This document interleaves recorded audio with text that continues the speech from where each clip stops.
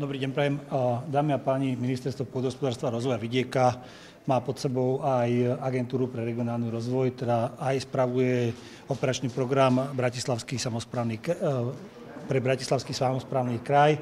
Dnes e, moja návšteva tu na župe malo cieľ, aby sme si prebrali a dohodli sa, ako môžeme urýchliť čerpanie tých peňazí a tých projektov, ktoré sú rozbehnuté a o skutočnosti, že ministerstvo dnes vyhlasuje otvorenú výzvu pre mestskú hromadnú dopravu.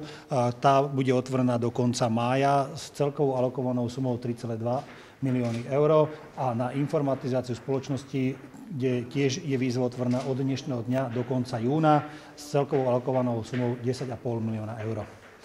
To je v gestii e, teda vyššieho územného celku miest, a hlavne, miest na území vyššieho územného celku a hlavného mesta Bratislava, ale koordinačnú funkciu to plní vyšší územný celok e, a preto rokovanie s pánom Županom.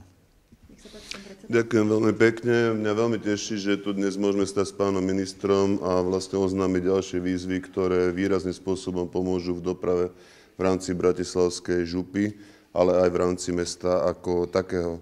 To hlavnou témou bol vlastne, čo bude ďalej. To znamená, ja to poviem za tú župu v takých jednoduchých modeloch. Jedná sa tam o tri prestupné terminály v tých najznámejších úzloch, ako je Pezinok, Senec, Malacky.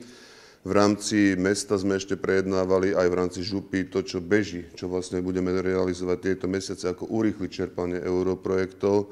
Tam súvisí to s integrovanou dopravou, to znamená, bude tam dispečerské stredisko, musia tam byť nejaké označovače ešte, ktoré možno mesto musí obstarať a ešte tri mestské, do, e, tri mestské projekty, ktoré urýchlia dopravu, alebo respektíve schváliť dopravu na území mesta.